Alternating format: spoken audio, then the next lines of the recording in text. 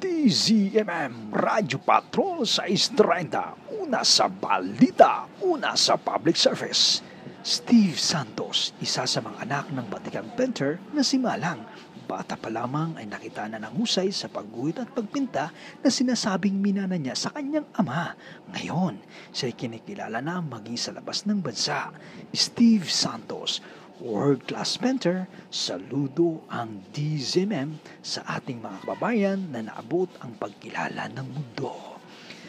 Nangunguna ang Sabado ng hapon sa DZMM kaya kapit lang sa mabilis na balitang hatid ng Radyo Patrol Balita. Sumabay sa pagdilino ng mga isyu ng bansa sa Ito ang Radyo Patrol Balita.